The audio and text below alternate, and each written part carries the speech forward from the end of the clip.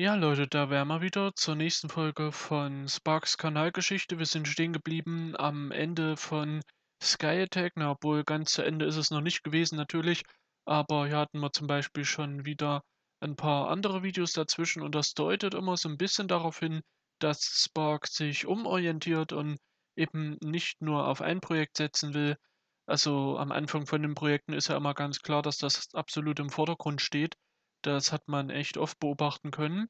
Hier gab es dann natürlich mal ein Tutorial, was dann auch wiederum zu Skyblock gepasst hat, aber sonst gab es echt nur Sky Attack, ne? Wenn man sich das hier mal anguckt und natürlich die Snapshot-Reviews, die lässt er dann nicht ausfallen, aber alles andere steht hinten an und da gibt es eigentlich gar nichts eine ganze Zeit lang. Ich gucke hier gerade mal durch, wann das nächste Video gekommen ist, abseits von hier Snapshots wieder, aber das müsste dann erst das gewesen sein. Und da haben sie dann eh hier diese Together-Aufnahme gemacht in dem ähm, Freizeitpark und dadurch ist er ja mehr oder weniger gezwungen gewesen, auch entsprechend das äh, hochzuladen. Naja, was heißt gezwungen? Aber naja, immer bei so Events, auch wenn hier das zwei Jahre alt wurde, hat er eben dann gedacht, okay, da lade ich jetzt doch mal was anderes hoch, abseits von SkyTech. Aber ja, ich glaube, so langsam hat die Fassade gebröckelt, dass SkyTech ja noch das aktive Hauptprojekt ist, sondern ähm, das ist dann eher übergegangen in den inaktiveren Modus, leider. Denn ich finde es immer blöd, wenn die Projekte so schnell schon vorbeigehen. Ne? Es wäre irgendwie schöner, wenn das verteilt wäre auf eine längere Zeit hinten raus. Ähm, gerne auch, dass am Anfang nicht so viel gesuchtet wird. Das ist eher immer ein Problem, finde ich. Denn das äh, nimmt auch den ganzen Schwung aus den Projekten. Denn eigentlich es hat es früher immer die Projekte ausgemacht, dass die eben sehr lange gelaufen sind und dadurch so ein richtiger, ja, Spannungsbogen auch entstanden ist, mehr oder weniger. Das gibt's ja heute gar nicht mehr bei diesen kurzen Geschichten immer nur. Und das, äh, fehlt halt komplett, ne? Aber naja, äh, ich will nicht jedes Mal gleich darauf eingehen, deswegen wiederhole ich das jetzt nicht, sondern ich würde sagen, wir gucken mal, was es hier so gab. Also Skytech Gefängnis, ein Strafzettel nach dem anderen. Stimmt, das kenne ich auch noch. Da haben sie ein bisschen Roleplay versucht und so mit Kroko hauptsächlich, soweit ich das in Erinnerung habe. Und ich wusste gar nicht, dass die hier erst den Enderdrachen gemacht haben, in Folge 40. Denn das ist eigentlich, so von der Folgenzahl her zumindest, relativ spät. Sonst machen die das doch immer schon, keine Ahnung, nach 10 Folgen oder 15 oder 20. Zumindest bei Craft Attack, aber auch in anderen Projekten. Und deswegen wundert mich das hier. Ähm, wenn ich das mal vergleiche mit Create Live, da haben sie das auch früher gemacht. Oder machen die da überhaupt End-Events in dem Sinne? Ich weiß es nicht. Hier war es eben wahrscheinlich im Vordergrund, weil das auch mit den ähm, ganzen Datapacks und so Vorteile gebracht hat. Ich weiß zwar nicht mehr welche, aber irgendwas war da. Und auch die Erfolge und so, ne, die damit zusammenhingen. Also müsste ich jetzt mir nochmal angucken.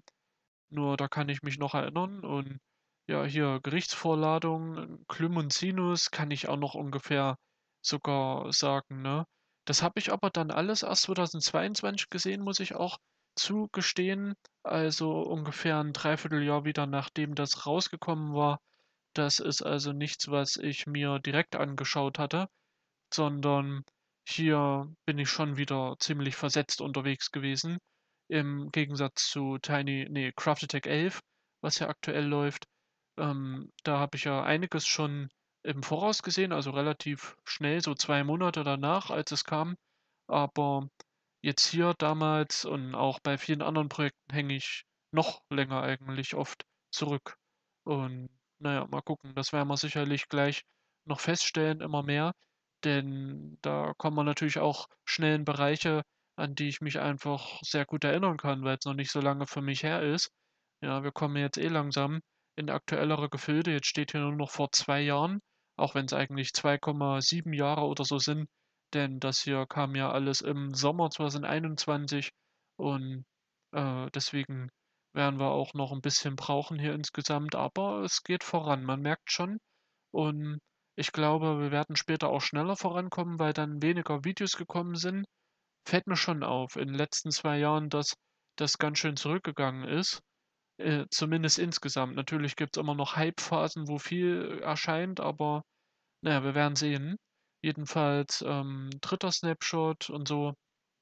Äh, hatte ich, glaube jetzt auch schon öfter erwähnt, oder? Na ja, jedenfalls hier 4. Ich weiß auch gar nicht, warum die da so hießen. Hatten die keine normalen Bezeichnungen? Das fällt mir grad nur wieder auf. Ich wusste das damals, warum das so war. Ich glaube, das lag an dem neuen Map Generator. Das waren also abgekoppelte Snapshots, die erst mal nichts mit den eigentlichen zu tun hatten, sondern die nur dafür da waren, diese Weltgeneratoren zu testen. Und da haben die ja so viel umgestellt, immer hin und her. Und deswegen hatten die das nicht als richtige Snapshots veröffentlicht. Aber es gab doch vorher schon mal richtige?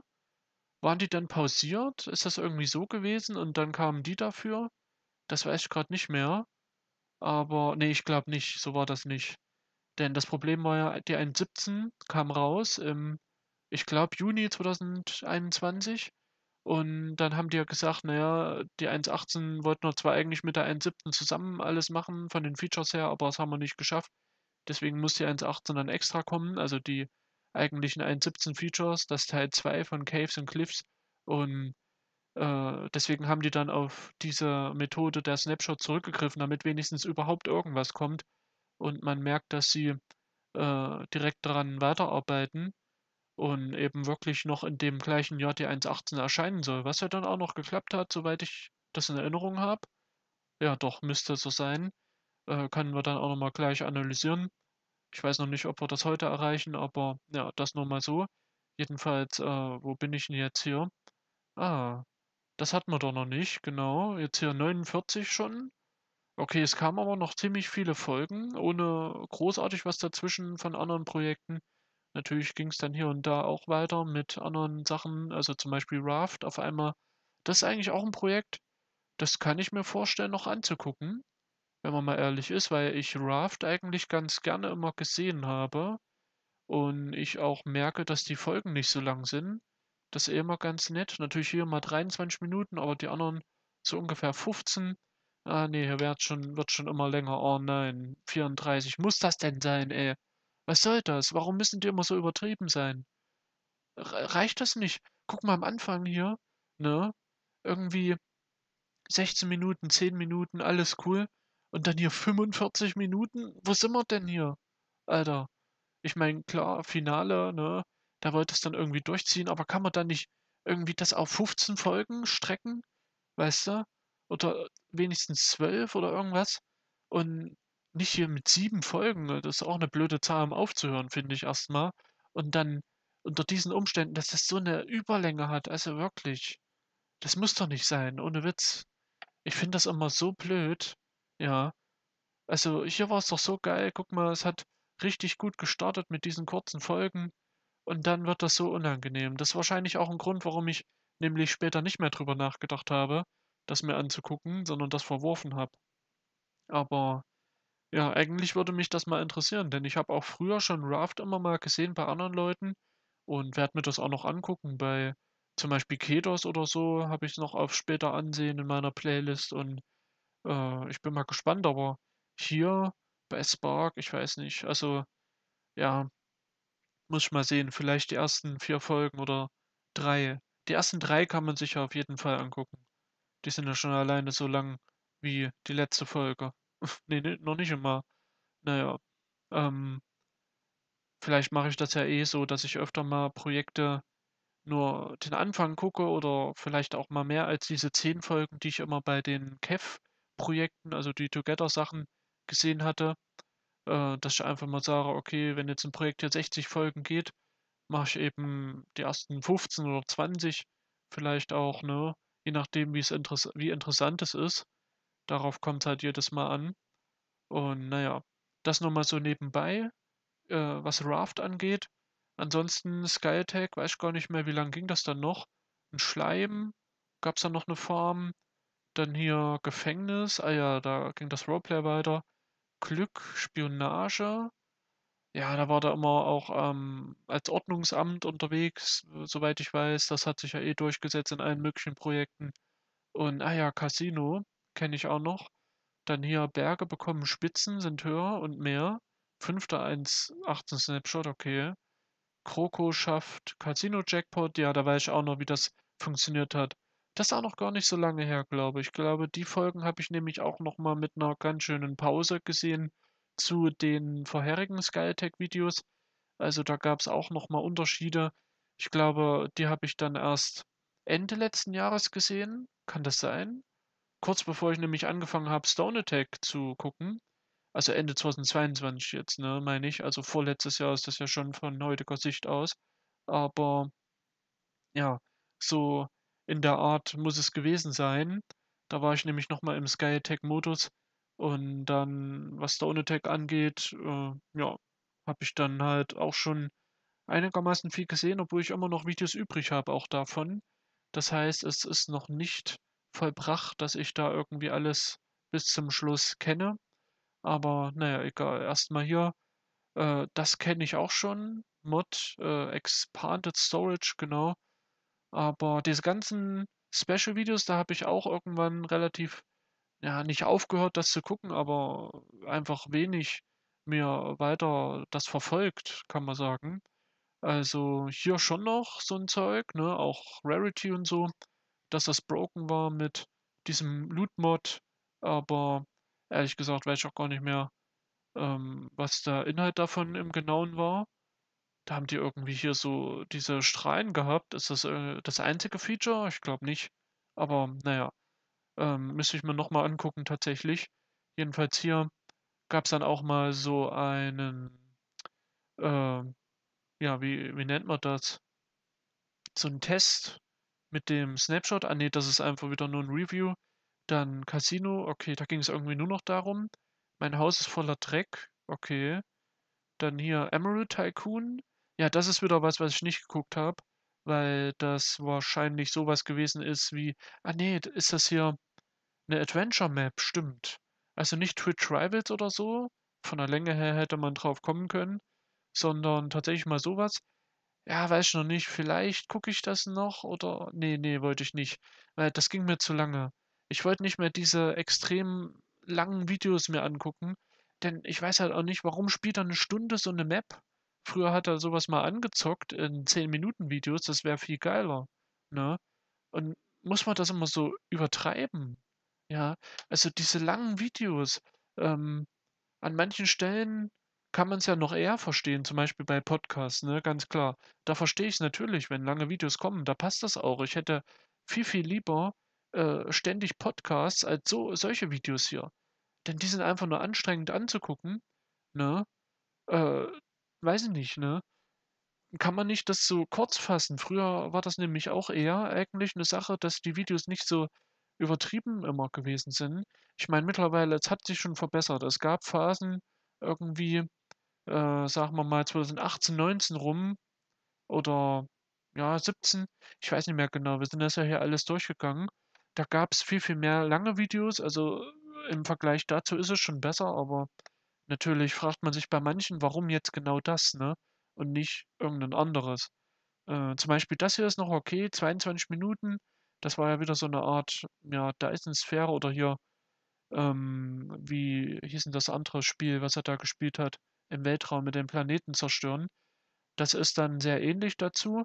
Wollte ich mir auch mal angucken, aber weil's 'ne eigene Serie ist, habe ich das noch nicht angefangen, äh, und irgendwie dazwischen gemischt. Ich weiß auch gar nicht, gibt's da irgendwie nur ein Video hier auf dem Kanal? Kam der Rest alles aufm Gaming-Kanal damals noch? Das wäre die nächste Frage. Äh, das ist ja echt mal 'ne interessante Sache. Warum habe ich das noch nicht gesehen? Denn zumindest die 1. Folge hätte ich mir ja angucken können auch. Hm. Da blicke ich grad nicht so wirklich durch, aber okay. Gleich kommen wir zu Exitus noch, das ist ja das nächste Projekt. Jedenfalls hier wollte ich noch sagen, Podcast immer wieder gut. Habe ich auch mir damals angehört, also dann irgendwann. Ich weiß gar nicht mehr, wann genau. Ich glaube, äh, wann ist es rausgekommen? Sagen wir mal, jetzt sind wir bestimmt schon im September 2021. Dann werde ich das gehört haben circa im Mai oder Juni 2022, schätze ich jetzt, ne? Aber ich kann auch daneben liegen, ich weiß es nicht genau. Manchmal kann ich mich noch genau erinnern, in welchen Situationen ich solche Videos gehört habe oder geguckt, aber, äh, in dem Fall nicht. Also, ist nicht bei jedem der Fall. nur bei einigen, wo's irgendwie spezielle Momente waren. Na ja, jedenfalls hier Minions, das kenne ich auch noch, das habe ich mir angeguckt damals, ne? Ähm, dann hier Diamond Tycoon, ja, so was habe ich mir mal angeguckt, das ging ja von der Länge her. Snapshot, äh, sowieso. Ich wusste gar nicht mehr, dass es 7 Stück von diesen Dingern gab, aber langsam müssten wir dann auch wieder zu den normalen kommen. Genau, hier ging's dann weiter mit 21W37A. Ähm, da sind wir aber noch nicht ganz. Na, obwohl, da müssten wir schon so auch Ende September sein, ne? Habe ich richtig geschätzt von der Zeit her. Äh, ungefähr zumindest. Na ja, jedenfalls hier erste Fabrik, äh, wie ein Ultratechnik MC Modpack, dieses Game. Okay, was ist das für 'n Titel? Muss man das so schreiben? Also, wenn man das spricht, kann man das ja so machen, aber, äh, finde ich irgendwie komisch. Ach, Dyson Sphere Program. Das ist doch nicht so was mit 'nem Planeten? Okay, okay, das ist nur das Vorschaubild gewesen. Deswegen habe ich das nicht geguckt. Ja, wenn das so 'n Spiel ist, dann interessiert mich das nicht, ne? Wenn das so was anderes wäre, wie mit dem Planeten zerstören, was irgendwie auch unterhaltsam ist und 'n bisschen rumtesten, experimentieren, das fände ich ganz cool, aber hier, das ist ja wirklich wie Technik, ne? Und dann 32 Minuten Videos, also ganz ehrlich, da bin ich, äh, sehr, ähm, sicher mir jetzt, warum ich das nicht angeguckt habe. Aber na ja, jedenfalls hier, jemand hat ohne Mojang 100 Biome dazugebracht, das kenne ich auch noch. Dieser alte Kanalbanner auch hier, gell, bei dem Gaming-Kanal, wenn ich das grad sehe, ist auch noch geil, muss ich sagen. Na ja. Hier jedenfalls Shader Mod. Ähm, ja, das sind immer so Verfeinerungen, ne? Einerseits so was, aber auch das. Und das kenne ich auch noch ganz gut. Äh, Minecraft-Animationen ohne Mods, ah, hier. Ach, da geht das über 'n Texture Pack alles. Oh, das ist auch krass, wenn so was funktioniert, gell, mittlerweile. Hätte man sich in alten Versionen echt nicht vorstellen können. Jedenfalls, was ist das noch? Neue Minecraft-Mods, die du nicht kennst. Okay. Stimmt, da hat er dann immer solche Videos gemacht, äh, kombiniert, 3 Mods. Ich glaube, das kam dann öfter oder auch vorher schon, soweit ich mich erinnern kann. Also, es gab nicht mehr so oft diese klassischen Mod-Reviews, wo wirklich nur ein Mod vorgestellt wird im Video und das war's, ne? Und das hat man auch hier schon gemerkt bei diesem Ding, äh, dass ihm das wahrscheinlich zu wenig ist für 'n Video immer, solche Mods, und er die ganz schnell vorstellen will und dann eben lieber viel in ein Video packt. Finde ich aber auch 'n cooles Konzept, da hat man irgendwie interessanten Content zum Gucken. Und wenn die Videos dann nicht zu lang werden, ist auf jeden Fall gut. Ja. Dann hier seltene SkyTech-Items. Ja, da gab's dann schon wesentlich weniger SkyTech-Folgen, das merkt man. Und ich weiß nicht, ob die hier schon beendet wurde, die Serie, aber der Dreck muss weg, okay. Neue Items für das Museum. Ah, stimmt, da war irgendwas. Kann mich noch erinnern mit dem Amethyst, wo er den irgendwie aus Versehen abgebaut hat, gell? Und diese Cobblestone-Jagd auf diesen Rekordwert da, das war auch noch was. Na ja, ich habe die Bauhöhe auf 4.000 Blöcke gemacht. Das sind auch immer so Titel, gemacht immer so. Kann man da nicht 'n besseres Wort finden? Gesetzt oder was? Keine Ahnung. Jedenfalls, ähm, das kenne ich auch noch, ne? Das war echt krass, wenn man das so sehen konnte von oben auch. Das war, glaube über so 'ne Render-Mod, dass du das noch, ähm, beobachten konntest richtig nach unten. Aber ja, jedenfalls hier das mit Exitus kenne ich auch. War ja irgendwie von JoCraft wieder initiiert und hat mich 'n bisschen erinnert an solche Kurzprojekte wie Minecraft Kira früher oder auch Minecraft Dice, ne? Das ist immer nicht schlecht, wenn dann jeden Tag so 'ne Folge kommt. Und die habe ich mir alle angeguckt schon? Ja, doch. Und so was ist wesentlich besser, wenn das so schön verteilt ist auf mehrere Folgen, als irgendwie Minecraft, äh, hier sehen wir's auch schon wieder, Twitch Ri Rivals, Alter. Ohne Witz. Also, schon wieder, ne? Auf der einen Seite kommt wirklich dieses Konzept mit den täglichen kürzeren Folgen, das hält sich ja auch alles in Grenzen. Und auf der anderen Seite kommt dann wieder so was. Warum? Kann man das nicht vielleicht auch aufteilen oder irgendwie anders gestalten? Äh, ich ich kann mich damit nicht anfreunden, mit diesen langen Videos und Twitch Rivals. Also, so interessant ist es dann auch wieder nicht, dass man sich das diese halbe Stunde da reinzieht, ne? Da wär's doch viel cooler, wenn's irgendwie 'n zusammenhängendes Projekt auch noch wäre, wie bei Suro oder so. Da kann man sich ja auch mal halbstündige Folgen angucken. Äh, sollte natürlich auch nicht immer, ähm, ja, so sein, aber da geht das noch wesentlich eher. als bei Twitch Rivals. Das ist irgendwie so, ah, hm, kann man das nicht als 10 Minuten Video so zusammenschneiden? Ich meine, er hat ja auch 'n Cutter und in Craftec 8 gab's so viele krass geschnittene Videos, da hätte man doch das so was ja auch safe so runterschneiden können, oder? Und ich glaube, die sind ja auch schon geschnitten. Warum dann 'ne halbe Stunde? Ich kann's nicht verstehen, wirklich. Wie gesagt, hier mit Exitus ist das, äh, 'n komplettes Gegenteil, 'nen viel besseres Beispiel. Ähm, genau, Folge 5, also das ging auch nicht lange, aber es war eben mal 'ne coole Abwechslung trotzdem oder grade deswegen. Und ja, hier neue Advancements. Aber gut, das gehen wir alles später weiter durch. Ich würde ich würde jetzt erst mal mich verabschieden, dann kommen wir dann auch zu dieser Serie hier, die will ich auf jeden Fall auch detailliert besprechen und nicht jetzt hier am Ende noch. Deswegen danke fürs Zusehen. Bis dahin und tschüss.